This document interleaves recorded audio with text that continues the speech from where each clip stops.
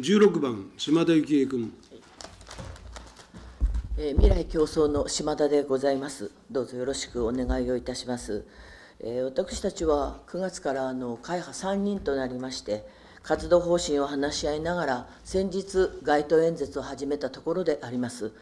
まあ、定期的に街頭演説でお訴えをしたいというふうに思っておりますが、その中で林代表が多様性のことを言われました。まあ、男性と女性のいるこの会派、そして先ほどからお話がありましたように、その多様性をしっかりと教育受けた、そしてその環境で育った方が成人を迎えておりますのに、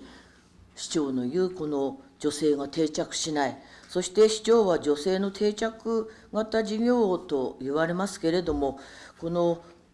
北日本新聞でこの、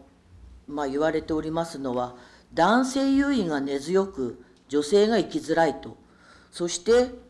えーいろいろと、えー話し合いの中に入ったとしても、少なくとも私は一度も尋ねられたことがないと。そして、これはあの小矢部市ではないでしょうけれど、これは富山県のあのことが載っているんですが、在住地の自治振興会の役員は99%が年配の男性。まあ、地元の行事の準備の際には、男性陣が喫煙をしながら談笑する傍らで、女性が下働きみたいな役割で作業をすると。まあ、それが当たり前のようだと、現状であるというようなことが書いてあります。そして、この実態を見た方が、とりわけ若い女性が地域に残るでしょうかと。そしてまた、富山市内の80代の男性も、封建的な風潮や男尊女卑を解消しなければ、若者や女性の流出は止まらないのではないかと。まあ、女性の考えに沿った政策が必要であると、そういうふうなお話をされています。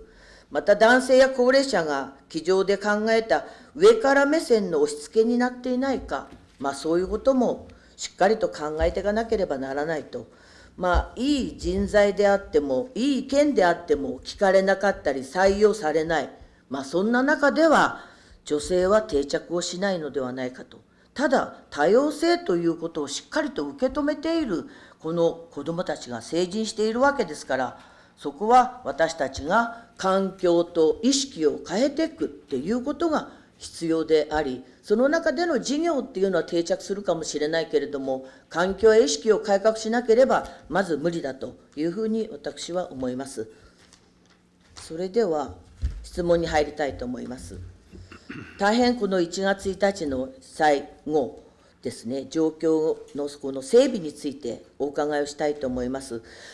えー今日は午前中も新庁舎のことで大変あのご質問が出ました。しかし私たちのこの庁舎というのは新庁舎ができるまでまだまだ数年かかるということになります。この庁舎が職員の安全を確保するためにも整備が必要だということはもちろんでございます。また整備もされたというふうに思います。安全確保のためにどのような整備をされたのかお尋ねをいたします。総務部長、橋本信之君。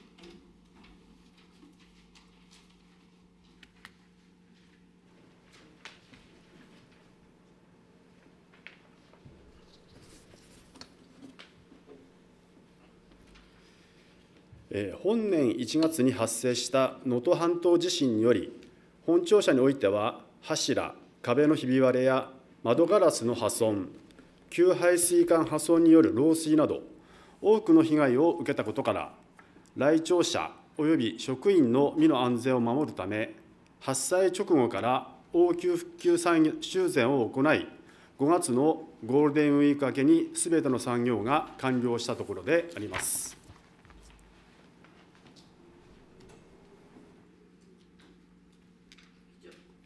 16番、島田幸恵君。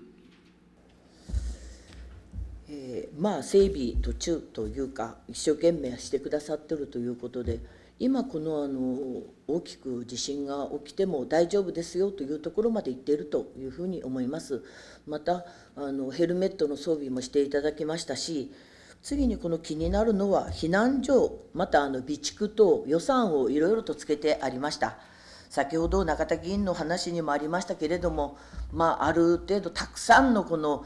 災害の訓練をしようというふうに思ってもなかなか一つずつこの確実に整えていくっていうことが私は今問われている災害が少ない富山県ではなくなってしまったというふうに思いますのでこの避難所や備蓄またこのいろいろつけられたところ組織づくりっていうところをお尋ねをいたします。まあ、地区が危機感を持って取り組むことが大切だというふうに思いますが組織体制づくり、まあ、いつもあのお話をしているところですが防災士の位置づけやそのためにもまあ防災士の要請も必要また避難行動要支援者の名簿の作成はできたのか、まあ、各地区が提出をしているのか関連があるのでお答お尋ねをいたします。総務部長、橋本信之君。防災に関する組織体制につきましては、まず市内全18地区に自主防災組織があります。この組織は共助の精神に基づき、自主的な防災組織相互の連携、協力を図ることにより、地域の防災力の向上を目指すものですが、有事の際には避難所の設置や運営を担っていただくこととなります。また各地区の自主防災組織が主体となって、災害時の避難行動の指針や居住者等が行う自発的な防災活動に関する事項を定めた地区防災計画の策定も進めてもらっているところであります。一方、防災士につきましては、本市には防災士連絡協議会という組織があるものの、活動については個人単位での活動が主なものとなっており、必ずしも地区との連携が取れているとは言えない状況が見られました。このことから今年度において自主防災組織連絡協議会の役員と防災士連絡協議会の役員で意見交換を行い各地区と防災士との連携強化について協議を始めたところであります各地区の自主防災組織と防災士が密に連携協力をすることによりより強固な防災体制を構築できると考えられることから防災士の地区への参画を積極的に働きかけていきたいと考えているところであります。また防災士の要請につきましてはこれまで各地区の自主防災組織からの推薦を受けた方に対して資格取得にかかる試験受講料や認証登録料などを市で支援しておりそれにより多くの方に防災士の資格を取得していただいているところであります。また防災士養成研修を実施する富山県においては例年年4回の実施のところ今年度は受講希望者多数により2回の追加を予定しているなど防災に対する機運が高まっており防災士の要請は非常に重要であると考えております。今後は引き続き支援を継続し防災士の増員に努めるとともにすでに資格を取得された方へは各種研修等の実施や市総合防災訓練への参加要請を行い各個人のスキルアップを通して市全体の防災力向上や自主防災活動の促進に努めてまいりたいと考えております。次に、えー、養援護者の関係について、え、答弁させていただきます。高齢者や障害を持った方といった配慮が必要な方のうち、災害発生時に自力で避難することが困難な避難行動要支援者の把握につきましては、本市では各担当課において、介護認定や各種障害者手帳の交付時に把握する情報や、各地区自主防災組織や民生委員、児童委員などから寄せられる情報をもとに、避難行動要支援者名簿を作成しております。なお、名簿は4月と10月の年2回更新しており、常に最新の情報として把握をしているところであります。16番、島田幸恵君。の防災士に関してっていうかなかなかこの危機として具体的に位置づけもなっていないのかよくよく分かりませんがあの氷見のあの防災士さんそれから県の防災士さん実際にもう能登へ行ってあの動いておられますよね。本当にあの災害に行ってあのまあいろいろなことを体験してきてくださるっていうことが一番いいのではないかなというふうに思っているところであります。であの今のこの、えー避難所を要請というか、まあ、公民館等でしなければならないもんですからそれぞれの防災のこの、えー組織づくりっていうのを本当に皆さん心身とこう取り組んでおられます。その中でいつもお尋ねにされることがあります。もういろいろと名簿作るんだけれどもあの今のこの食料とかそれは給水食事作りっていうのを食生活改善推進協議会の方に振ってありますよとか位置づけてありますよとかそれって私たち本当に大丈夫でしょうかと食生活改善推進協議会では防災の研修もするわけなんですけれども実際にそういうことをいざ起こった時にどうするかなんていうことは学んでいるわけではありませんので、まあ、担当をしてくださいということでもしうんと言ったとすればどのようなこの本当の災害が起こった時にどのような対応になるかとかまたもう一つはいろいろなあの話の中からあのちょっとしたこの救急薬品をあの設置しようと思うんだけど何をしたらいいかわからんと、まあ、そういうようないろいろなこの細かい疑問が出てきているのに整っていかないっていうのは1月1日のこの災害を受けてましては断水までしたというそういう中でこれが本当に危機感のある自治体のまた地区への支援なのだろうかというふうに思ってしまうわけなんですけれどもそこら辺のところはしっかりと、えー指導っていうか整っておられるのか確認をしておきます。総務部長、橋本信之君。えー各地区えー自主防災組織、また各地区振興会等への、えーまあ、今回の地震に伴う組織体制等については、えー説明を行っているところであります。また、えー避難所の運営にあたり、市の職員を3名配置して、えー確認を行い、そして避難所の設営をするということも、えー各地区を回って説明を行っているところであります。えー議員、えーご質問の、えー各地区の中におけるそれぞれ役割についての説明について細かな点についてはまだ行き届いていないというふうに考えております改めてまた各地区においてしっかりとその、えー避難所設営等の体制が取れるような、十分な説明をまた各地区に向けて行っていきたいというふうに考えております16番、島田幸恵君。経験で、まあ、あのこれが答えっていうのはないですがやっぱり身につけていざという時に今か今度はしっかりと対応したいっていう皆さんの思いがあるというのを、まあ、受け止めていただいてご指導を願いたいというふうに思っています。さてこのあの前回の家屋のこの公費解体についてですが、まあ、あの進んでいるというふうに思いましたし私もいろいろと見てまいりましたらきれいになっているとこやらそれから自費で自分の自力であのやっておられるとこやらいろいろでした。この被災によってですね解体のこの状況とこの被災によるこの転出転入っていう状況というかそういうものはあの市街とあのないようなことをお聞きしましたけれどもそこはどのような状況なのでしょうか？民政部長、森徹君。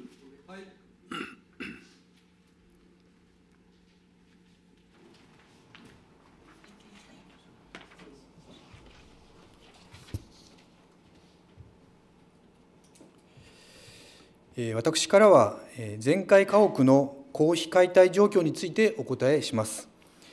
えー令和6年8月16日時点で、損壊家屋等のうち、全壊の件数は重化、非重化を含めて28件であります。このうち公費解体または自費解体の申請があった件数は19件となっております。残り9件につきましては、所有者におきまして、当該家屋等を修繕するのか、解体するのかを決めかねているものと考えております。申請のあった19件につきましては、すでに1件の公費解体が完了しており、引き続き準備が整ったものから順次公費解体を実施してまいりたいと考えております。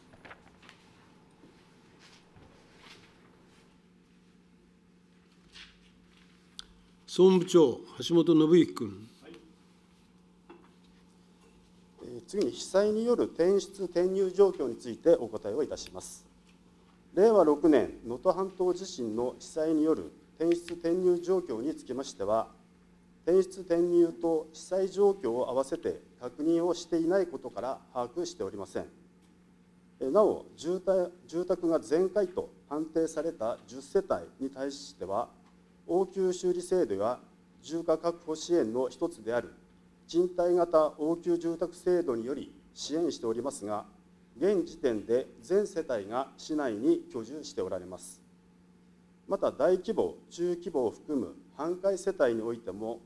対応が判明している24世帯については、応急修理や市内アパートへ入居されていることから、被災による市外への転出が増加しているとは認識しておりません。16番、島田幸恵君。あのお聞きしたらあの郵便は届いておるということですので、まあ、あの一時避難とか、まあ、身内のところへねあの娘さんとかそういうところへあの行ってらっしゃるのかなというふうに思いますがここでまた困るのがこの町内組織ですよね。この人数がいなくなった時に、まあ、いろんなイベントをしたりそれから事業を展開していく役員をしてもらってるとか、まあ、いろんなことがあると思いますがその中で今後どういうような支援をしていきたいというふうに思っておられますか？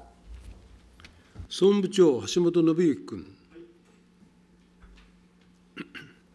被害を受けられた町内や地区からの要望については、適宜受け付けており、その都度対応について検討を行っております。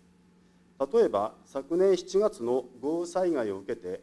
孤立集落になる恐れがある地区に関しては、地区の方々と協議を行った上で、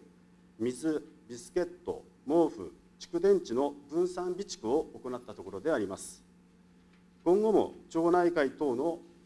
要望に寄り添って、できる限りの支援を行ってまいりたいと考えております。16番、島田幸恵君。細かくあの対応していただきたいというふうに思っていますね。あのまあ、先日あの、え9月7日ですか、防災講演会、まあ、私たちのその同じ羽生の8班のあの出身の方がですね、あの東大のこの地震の研究所の所長さんしておられるということで、講演会をされました。この,、まあ、あの参加人数っていうのはあまり把握しておられんみたいな感じですが、参加人数は把握しておられて、職員数を把握しておられんがかな。あのま、アンケートまで私は取ってもらったらよかったなと、大変あの良いあの講演会だったなと、本当にあの良い機会だったと、ただこれに終わらずに、また続けてもあの学び、地震ってどういうものなんだと、一体全体、この日本はどうなっていくんだとかっていうことを学んでいくべきだというふうに思いますけれども、あのまあ、それにも加えてですね、職員のこの救助、救出に関するそのことで、スキルアップしていきたいというような予定はあるんでしょうか。総務部長、橋本信之君。職員を対象にした普通救命講習はこれまでも定期的に行ってきており3か年で全職員が受講する体制としておりますこれにより有事の際には率先して救助に当たることができる職員育成を行っているところでありますご質問の市職員の救助・救出に関するスキルアップにつきましては現時点では考えておりません。また地震などの災害発生時の救助・救出については共助・近所によるものが非常に重要であり有効であると考えております。したがって市職員のみならず全市民の方に救助・救出のスキルアップが求められていることから引き続き市総合防災訓練や各地区の防災訓練などを通して知識の習得や体験の機会を作ってまいりますこのことにより地域の防災力向上につながるものと考えております16番、島田幸恵君。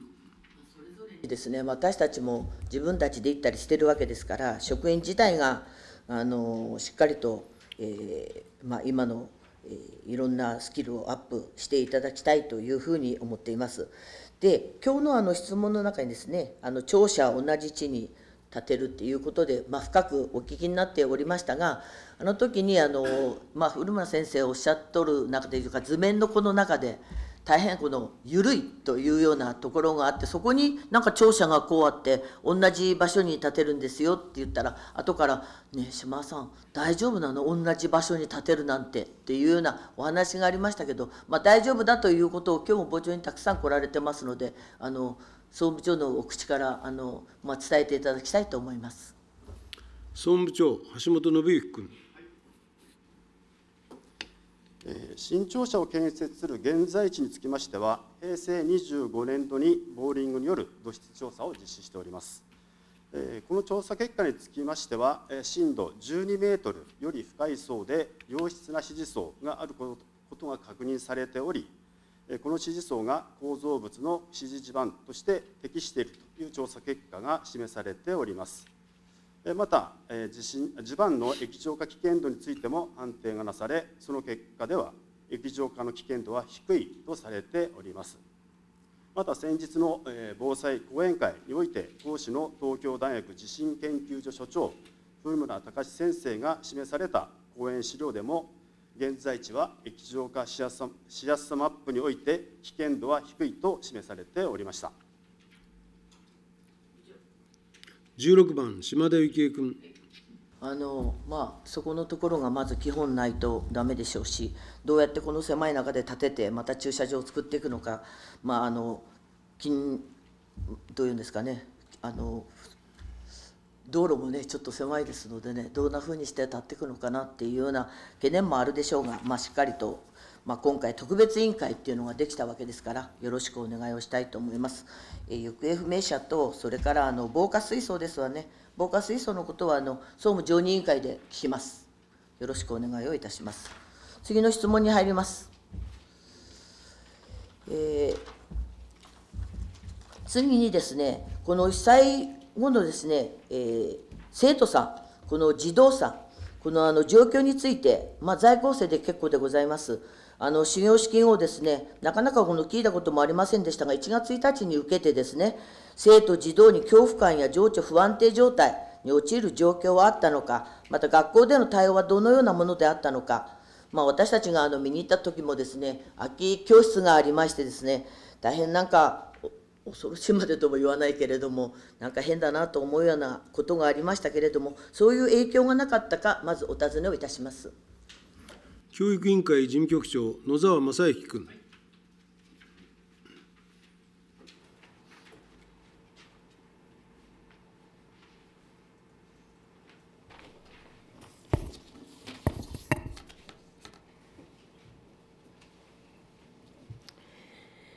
本年1月の能登半島地震に伴い、恐怖感を覚えたり、情緒不安定となるなどの問題や、心の悩みを抱えた児童・生徒については、各学校からは報告がありません。また、学校への影響につきましては、本年1月の能登地震により、校舎、体育館の天井の欠落や壁のクラック、給排水の漏水、グラウンドの亀裂などが生じました。児童・生徒の安全を確保するための学校施設等の修繕については、3学期の新様式まで応急修繕を行い、5年度中に修繕を完了したところであります。また、地震災害に伴い、さまざまな問題や心の悩みを抱えた児童・生徒がいた場合に備え、学校長やスクールカウンセラーと連携し、児童・生徒の心のケアに努め、また保護者に対しては、子どもの生活や行動の変化、気になることへの相談について周知を行ったところであります。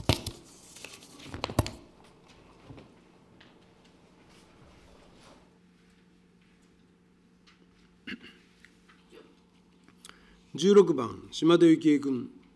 まあ、生徒にあの変化っていうかあのそういうあの情緒不安定になった方がいらっしゃらないっていうのは大変幸いなことだというふうに思います。まあ、1月1日家でのこのあの災害を受けてのことでしたので、まあ、ご家族等々一緒におられて安心だったのだろうというふうに思います。さてここでですね防災意識を高めてこの防災教育避難訓練のこの参加等をこの考えていらっしゃるのかまたこの教師ですわね教師、先ほどあの職員のこともありましたけれども、教師の方々が避難誘導について研修等を考えているのかということ、まあえーこの状況にこのつながっているとあのいうふうに思いませんけれどもあの、まあ、生徒とそれこそ先ほどおっしゃった、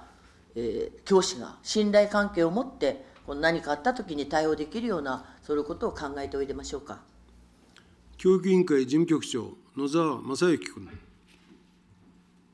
各小学小中学校では、毎年作成いたします学校教育計画の中に定める学校安全計画、学校防災計画および学校防災マニュアルについて、毎年内容の確認を行い、必要な更新を行って行っているところであります。実践的な防災教育につきましては、本年1月の能登半島地震が発生する前から実施しており、毎年度、各小中学校において、学校防災計画および学校防災マニュアルに基づいて行う火災、地震、洪水等を想定した避難訓練や保護者への引き渡し訓練を行うとともに、総合的な学習の時間において、防災事業を行うことにより、有事の際に速やかな行動が行われることを意図した防災教育を行っているところであります。また、小中学校から依頼により、児童・生徒を対象とした災害に関する事業に、市の防災担当職員が講師として参加しており、ハザードマップの見方や段ボールベッドの組み立て体験、備蓄の必要性など、日頃から必要な備えについて講義を行っているところであります。これからも市防災担当職員のによる講義や、防災士の講師派遣などにより、児童・生徒に向けた防災教育に取り組むとともに、地区の防災訓練において、児童・生徒の参加を促すなど、引き続き児童・生徒の防災意識の向上が図られるよう取り組んでまいりたいと考えております。また、え教職員への研修につきましては、え各小中学校には地震から命を守る避難訓練の実施をえー指示したところであり、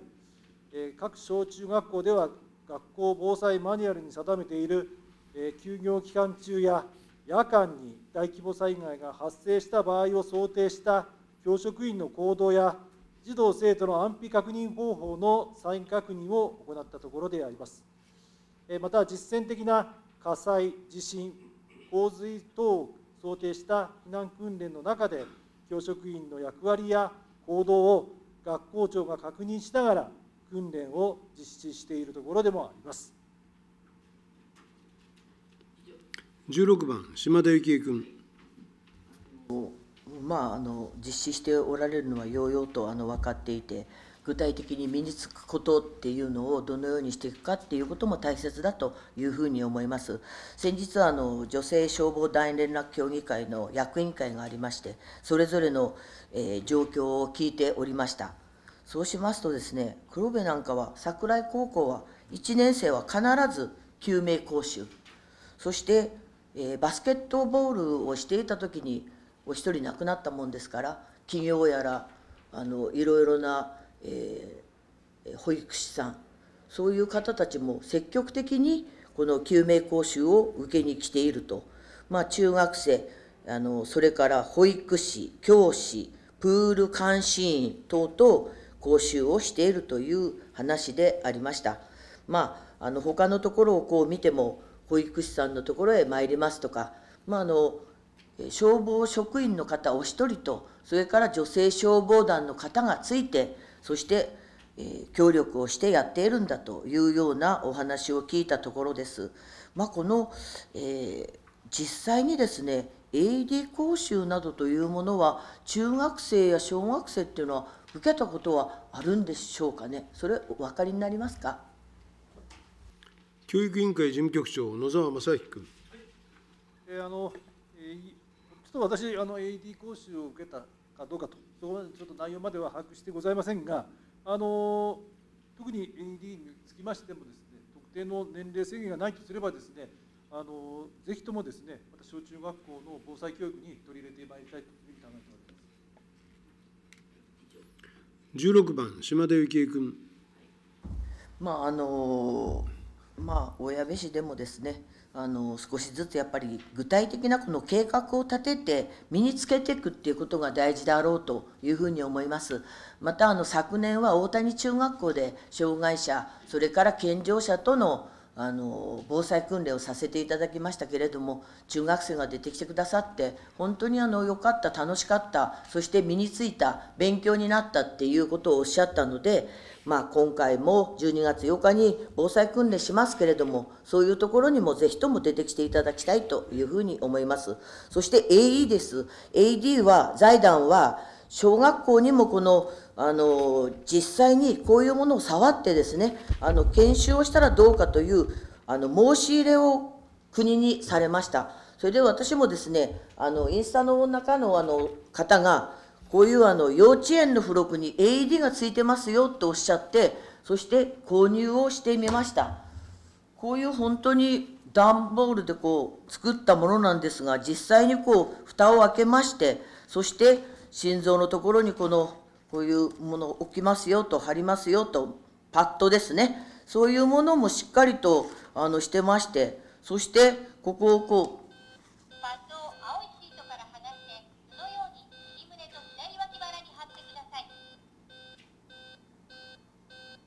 そしてこの体から離れてですねこれを押せばですねあの AD が稼働した電気ショックを行ったというこういうようなことがこれが幼稚園の付録なんですね。で幼稚園っていうこの本は何歳が対象なのかなと思ったら4歳5歳6歳あの本当に今からですねしっかりとこういうものをあの捉えながらあの身につけていくっていうことが大事だなということを非常に感じましたのでまたお願いもしたいというふうに思います。私たちはあの私たちというか私はこれ買い求めましたがあの今あの今晩ですねあの地震のあの大型紙芝居を女性消防団が作成新しく作成するところですこういうものを持ちながらですねあの実際にこう行ってあの関心を高めたいなというふうに思ってますので学校の方でもあの徐々にしっかりと取り組んでいただくようにお願いをしたいというふうに思います。では次の質問に入りたいと思います。貢献寿命延伸についてお尋ねをいたします。の私自身はこの新聞をですねあのえーえーと他県へ行った時にですね人生120年貢献を続ける、まあ、私のあのモットーが社会貢献生涯現役この社会貢献っていうふうに思っていたところですがまああのこういうこの貢献寿命延伸っていうことについてあの、まあ、提唱していかなければならないなと思っていたらですね長寿連長寿会のこの親部市の長寿会のこの副会長の福島悦子さんっていう方がですね皆さん貢献寿命という言葉を聞かれたことはありませんか？調べると社会とつながり役割を持ち、えー誰かの役に立つそして感謝されるといった関わりを持ち続けられる人生期間が、まあ、そういうふうに言うんだと。まあ、そういうことがとても大切だというふうに書いてあるわけですね。今となってはですね、夜と触ると病気の話であったりね、まあ、いろいろな話をするわけなんですけど、元気で長生きっていうももうだいぶ長いことになりますわ。元気で長生き言うても、もう本当にあの長く生きとらないかんわけですから、元気で長生きはもう合言葉になっていますが、もう貢献寿命延伸ということをしっかりと関わりを持ちたいというふうに、まあ、あの提唱していきたいというふうに思っているわけなんです。そこで何が気になるかというと、今までコロナで子ども園や保育所とのこの、まあ、入室っていうかそういうこともできませんでした。今まあどういうふうになっているのかということをお尋ねをいたします。民政部長、森徹君。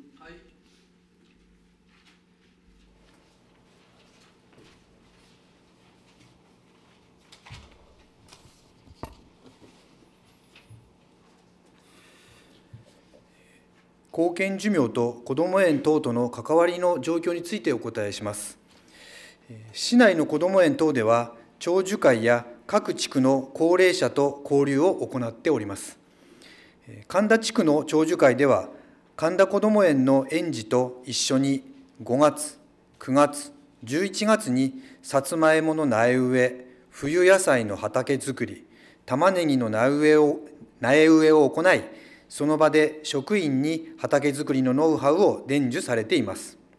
また、神田地区以外でも、卒園した子どもの祖父母や地区の高齢者の方が、ボランティアで施設周辺の整備や園児が植えた作物のお世話をされています。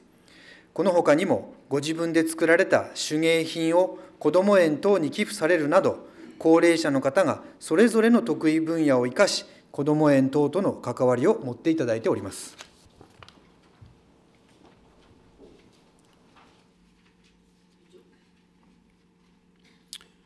16番島田幸恵君あのますますとですね、ここをあの見ますとですね、あの65歳以上の割合が高く、そして15歳から64歳の現役世代が低い、そして1.4人でこの高齢者1人を支える肩車型社会が来る、そして会社でも10人が65歳以上、まあ、えー定年が実質的にありません。60歳を過ぎても昇給がある。70歳の新入社員も珍しくない。最高齢では81歳というところもある。まあ、私たちもですね、今あの、えー竹松議員がね、その産後ケアとか、まあ、宿泊型っていうかね、お泊まりができないわけです。まあ、そうすると看護師さんが足らないとか、まあ、いろいろと話が出るんですけど、最近ね、募集されるのが、高齢者看護師いり、ま、あのおりませんか？っていうのが、あの提唱で、年齢言っててもいいですよ、看護師さんならというような、いろいろなあのがんの方が最後のこの旅行に行かれるとか、まあ、いろいろなあのことに看護師がついていくっていうようなこともあるらしく、まあ、そういうふうに、まあ、いろいろとよあの、まあ、貢献していく社会を築いていかなかったら、この、まあ、長生きを、まあ、喜べる社会ができないというふうに思うわけですよね。この長生きを、まあ、喜べる社会っていうのが子育てをしやすい人口減が止めれるこの、まあ、そういうふうにすべきだというふうになっているんですけれどもこの私はですね、まあ、いろんなあの障害学習もあのやっておられますのであのいいとは思いますが地域共生社会のこの実現に向けてですね取り組む事業をなんとか展開ができないかもっと、えー役に立つそして実感するっていうこの長寿連のこの頼りに書いてあります私たちもそういう社会を目指しましょうとまでこう言っておられるわけですからワンランク一段階こう上げたこの活動っていうのを展開できないのか、まあ、私としては他の自治体がやっていないんですからいち早くこの後継寿命永死っていうことを親部市でこの提唱していただきたい宣言していただきたいというふうに思いますがいかがですか？民政部長森徹君。地域地域共生社会の実現に向けての本市での取り組み実現についてお答えいたします。本市での元気な高齢者が地域共生社会の実現に向けた地域づくりに参加していただく取り組みとして、今年度、新規にアクティブシニアセミナーの開催を予定しております。これは昨年度策定しました第9期親部市高齢者保健福祉計画で、健康寿命の延伸を目指しておりますが、元気で活力ある生活を送り、また、これまでの人生経験を生かして、住み慣れた地域での社会参加、地域づくりに活躍、貢献しながら暮らし続けていくことを目的に教室を開催するものであります。また、本市では現在も多くの高齢者の方がシルバー人材センターに加入し、これまでの経験と培ってきた技術を生かし、地域に貢献しながら生きがいを持って生活しておられます。引き続き、市社会福祉協議会、長寿会、シルバー人材センターなどの関係団体を支援し、高齢者が地域に貢献し、地域の人々と関わりを持てる地域共生社会の実現に取り組んでまいりたいと考えております。16番島田幸恵君100年時代じゃなくて120年時代になりました。まああのあの先生もね長生きのあの先生もしっかりと100歳も超えられてあの生きておられましたけれどもあのしっかりとそういうところをあの支援していくってことが大事だというふうに思いますので、えーよろしくお願いをしたいというふうに思います。それでは次の質問に入ります。稲葉山牧屋です。まあ、ちょっとあの7次総合計画の基づいて、まあ、いろいろ予算が立っとったもんですから、業務の状態をお聞きしようかというふうに思っておりましたら、来年ね、1月にご報告されるということですので、それは結構でございます。で、コロナとか、まあ、いろいろなことで、このふれあい動物園の状況があのいけないとか、まあ、開催し、開園しないとかっていう状況がありましたけど、今はどのようになってるのかお尋ねをいたします。産業建設部長、笹本克也君。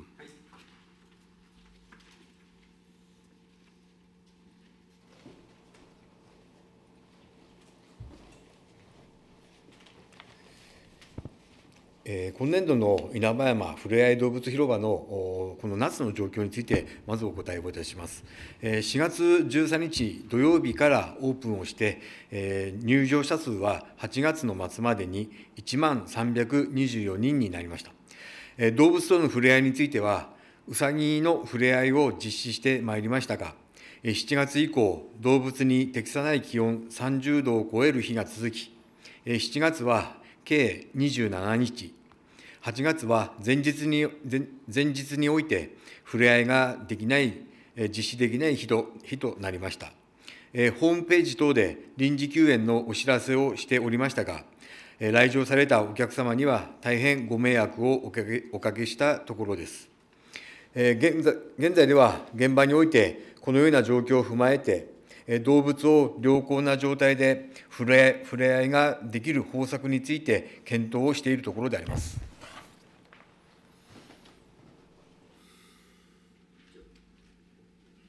16番、島田幸恵君。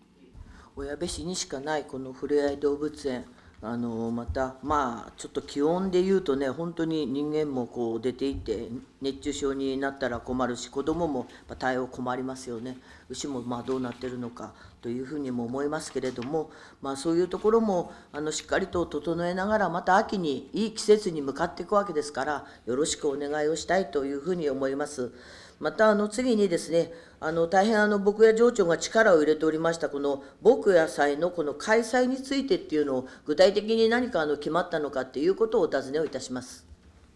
産業建設部長、笹本克也君。えー今回開催します牧野祭についてであります。えー本市の稲葉メルヘン牛を牧野祭を通して市内外に PR することを目的とし、えー本年11月9日土曜日、10日日曜日の2日間、午前10時から午後3時まで、農業祭と同時開催いたします。場所はクロスランド親部アートハウス横特設会場で、稲葉メルヘン牛の瓦を使った交番焼きとし、焼き台は50台設置する予定です。チケットは前売り方式とし、1枚1500円の限定2000食で、先着順で1人2枚まで購入可能とします。また、当日は混雑が予想されることから、11月9日、10日の両日を4部制とし、第1部は9日10時から12時30分まで、第2部を12時30分から15時まで、第3部は翌10日10時から12時30分、最終第4部は12時30分から15時まで15時までとし、各回限定500食といたします。なお、雨天の場合は、屋外でのバーベキューは中止とし、稲葉メルヘン牛のパックをお持ち帰りいただくこととしております。えー前売り前売りチケットの販売は、本年10月10日木曜日からとし、チケットの取り扱いは、クロスランド親部、JA 稲葉、東部、西部、南部の各支店と、市役所4階の親部市観光協会の5カ所といたします。なお、チケット等に関する問い合わせは、稲葉山牧野事務所といたします。第1回目の開催になりますが、市内外大勢の方が稲葉メルヘン牛に、メルヘン牛を堪能していただけるように、ご来場をお待ちしているところであります。16番、島田幸恵君。入っているということが分かりましたし、またあの楽しみにしておるところでございますが、これは何かあのパンフレットか何かお作りになられるんでしょうか、今は言われたか、ちょっとごめんなさい。はい産業建設部長、笹本克也君。えー今度のあの、えー総務産業常任委員会でも、えー報告をさせていただくことにしておりますが、あのチラシを作成しまして、新聞折り込み、いろいろと PR をしていきたいというふうに考えております。16番、島田幸恵君。のですね防災講演会の中ですね古村先生がですねあのまあ、えー安全なのはですねダムのところと稲葉山ですよっておっしゃったんですよ。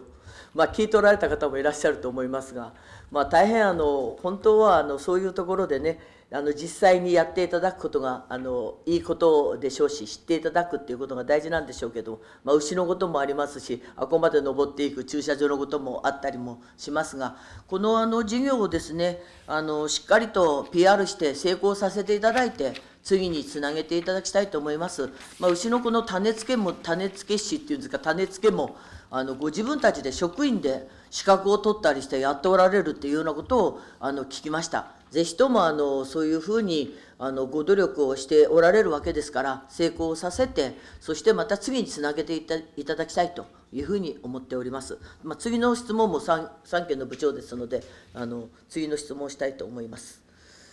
えーバスツアー助成事業についてお尋ねをしたいと思います。これは令和7年の2月28日までの、まあ、助成でございます。今までのこの利用状況とかバスとか食事、その宿泊事業をこの通してですね、あの観光協会のこの所管っていうのをお尋ねしたいなと、実言うと、あのちょっとあの認識が薄かったんですね、私が。まあ、他の方がいろいろとご利用なされていて、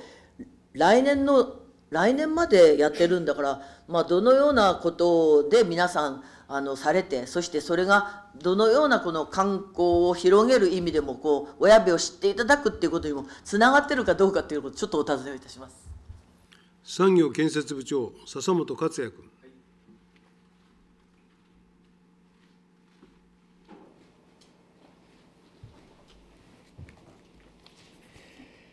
えご質問のバスツアー、え着地型観光旅行商品造成助成金につきましては、え市内外の観光関連事業者に対する消費え消費額を増加させるため、え貸し切りバスおよびジャンボタクシーを利用して、市内え市内の観光地を訪れるツアーを実施する者に対して助成するものであります。えー助成対象者は、市内で民間バス路線を運行、または市営バス事業を受託しているバス会社、市内に営業所があるタクシー会社であり、助成内容は、貸し切りバスの利用について、人数により1万円から4万円を助成し、食事または見学、体験の場合は1人500円、宿泊の場合は1人2000円を助成するものであります。この事業は、コロナ禍において市内を訪れる観光客の減少に対する誘客推進を目的として、令和3年度から市観光協会へ委託して実施しているものであります。えー令和5年度の実績は、助成件数18件、参加人数は382人でありましたが、えー本年度は8月末において21件の申請があり、659人が参加され、昨年度の同時期より申請件数、参加者数ともすでに大きく上回っているところです。所管になりますが、まあ、このようなことから、この事業を通して本市を訪れる観光客の増加が、飲食施設飲食施設などの利用増における経済効果にもつながることから、効果的な事業であると考えております。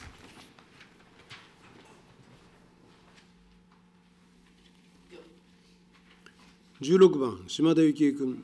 あのコロナのための対策だったのが今もまあしておられるわけなんですけれどもこのあの町内会児童会長寿会個人グループでのご旅行にぜひご活用くださいってこう書いてあるわけですよね。で親部を知っていただくっていうことがとてもあの大事なわけでまああの多分えー同じグループっていうのを何回もこう利用しておられるのかどうか分かりませんけど、まあ、そういうとこも考慮しながらしっかりとこれをあの有効にですね有意義に使っていただくっていうことをお願いしたいなというふうに思います。今日の今の,、まあ、の部長のお話でこういうのがあるんだなというふうにあの思われると思うのであのまた殺到するかもしれませんがあの同じグループばっかりではなくてですね広く使っていただければいいんじゃないかなというふうに思ってますのでどうぞよろしくお願いをいたします。それでは最後の質問に入りたいというふうに思います。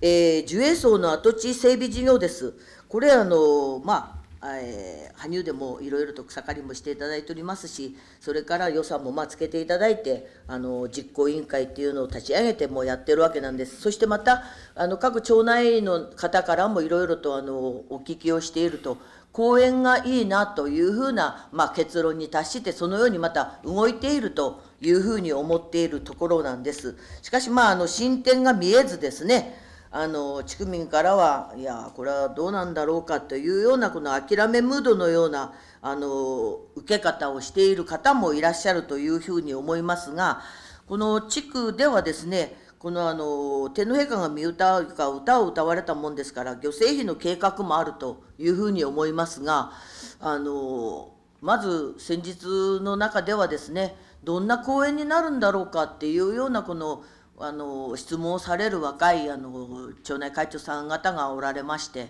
まあ、このことも含めてですねあの、まあ、公園のことそしてまたこの漁政費の計画があのあるとすればですね羽生地区ではなくてやっぱり最後は市があくまでもこのあのまあ、公園で終わるのか、それとも私自身は先日、要望に歩いたときにですね、市長さん自らが旗を振ってほしいと、そうでなかったら天皇陛下のご一家にももちろん悪いわけですし、まあ、市や県や、そして国へこの言うにしても、あのなかなか言えない、そしてまた県人会のこの太田博さんにお話をするにしても、なかなかこのつなぐことができないんじゃないかというふうに思いますが、その見解をお尋ねをいたします。市長、櫻井森生君。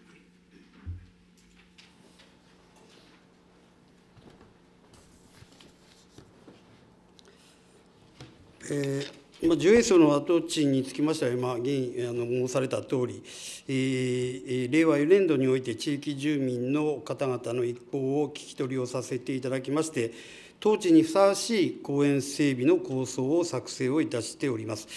で、この公園の整備にあたりましては、現時点では、あの国からの助成制度がないこと、えーまあ、いわゆる、まあ、財源の確保がちょっと厳しいということであります。それからあの隣接いたしております関西門ため池の停滞について、えーこれから耐震工事が予定されているということにより、まあ、あの本格的に、えーその着手できる時期については、まあ、はっきり申し上げられない状況でございます。えーしかしながら、今年度から地元の自治振興会、協議会を中心とした方々により、えーまあ、親方の1%、まちづくり事業を活用して、跡地周辺の遊歩道の整備、それから草刈りなどを行っていただいております。えーこうしたことから、まあ、あの地元の活動と歩調を合わせて、少しずつでも周辺の環境整備を進めていけばいいなというふうに考えております。またあの、えー昭和天皇が摂政宮でありましたあの大正13年、当地で読まれました御歌につきましては、地元有志の方々により、えー会費ですね、漁政費、これを建立する準備が進められております。で、この会費の建立につきましては、市が建立する、または寄付などを広く呼びかけることには、若干課題がございます。えー従いまして、建立にあたりましては、宮内庁の承諾が必要なことから、その申請にかかる事務補助、それから建立地からの眺望を阻害する樹木の伐採、こうしたあの周辺整備については、しっかりと支援をしてまいりたいと考えております。まああのいずれにしましても、私自身もあらゆる機会を通して、昭和天皇がこの親部市の羽生の地でえ読まれた御歌について、多くの方々に知っていただくように発信もさせていただきたいと思っております。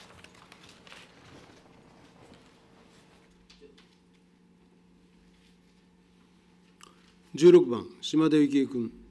あの地元のですね羽生地区のあの竹松議員も一生懸命になって、まあ、あの地区の方々もあの大変一生懸命にあのなっておられます。またあの市もあの大変あの協力的でしてあの環境整備のためにいろいろとあの働いておられることもあの承知をしているところでございます。先日はあの、まあ、市長さんにもお話ししました富山県人会の会長になられた太田博さんは女性団体連絡協議会でお話もいただいております。そして青年会議所でもお話をしていただいております。そのまあ見歌をあのお歌をですねあの一生懸命このまあ、えー最初にですか？市長さん曰く。最初にこの皆さんでこう聞かれる歌われるっていうようなお話も聞きますのでぜひとも市長さんには、えー旗振りをあのしていただきたいと。やはりあの市長さんが旗振りしないことにはあのこれはあの成就しないと。いうふうに私も思ってますしスピード感を求められるところもありますが、まあ、学士経験者の方たちはじっくりとしっかりとしたものをあのやっていってほしいというふうに思っておられますのでその点をもう一度市長さんのお口からお尋ねをいたします。市長、櫻井森夫君。えーまああのまあ、しっかりとやっていきたいというふうには思っております。ただ、先ほども言いました通り、なかなかその国の補助、まあ、そういう財源確保が厳しいということは、まあ、あのご承知の通りだろうというふうに思っております。であのその手法につきましては、まあ、2つ、えーございます。1つはガバメントクラウドファンディング。でございます。まあ、これは、まあ、ご存知の通り、市が事業として位置づけて、えーそれからあの、えー議会の議決を得て、えーまあ、初めて、えーその事業の実施になるという代物でございます。であの今の、えー、樹営層の跡地周辺整備につきましては、そういったあの整備計画もまだあの固まっておりませんし、今ほど言いましたように、関西門のため池の停滞工事が、まあ、あのこれから始まるということで、その周辺の環境整備にはちょっと、まあ、いつから着手できるかということが、まあ、見通せないということから、このガバメントクラウドファンディングというのはなかなか厳しいんだろうというふうに思います。現時点でですよ。でじゃあもう一つじゃあ何かというのは一般的なクラウドファンディングこれはあの自治振興会の方あるいはそういう、まあ、設立団体があのまあ、あの寄付というかファンディングをできるわけでございますからこれはやっぱりしっかり市もあのご協力をさせていただきたいというふうに思ってております。まあ、いずれにしましてもあの先ほども言いましたようにこれは本当に大切な、まあ、ある意味観光資源、まあ、文化資源でも歴史資源でもありますしもっと言えば観光資源にもなり得るものでありますので、まあ、あの地区の方と一緒にしっかりと頑張っていきたいと思います。16番、島田幸恵君。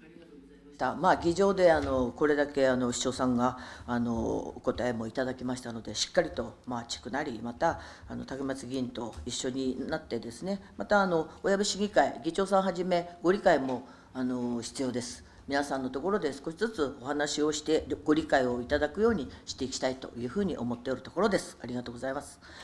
え私もあの携わっている活動がたくさんありまして、食生活改善推進を50周年迎えた、女性団体は30周年迎えた、女性消防団は今年20周年を迎えることになります。まあ、まだまだ続いていく活動はいいですが、先ほどお話ありましたように、今回の歓迎祭りの最終陣でございます。まあ、私たちとすればいろいろと関わってきたことでありますが、イベントするということは大変なことでございます。役員、そして会合、集客、事故も起こりました。天候にも左右されます。そんな中でなんとか盛り上げようと、まあ、マツケンサンバもじって、吉中バンバを踊りの練習をしたり、衣装を作ったり、小道具を作ったり、介護、また予算のない中でですね、知恵を絞っております。こんなまあ市民のこの、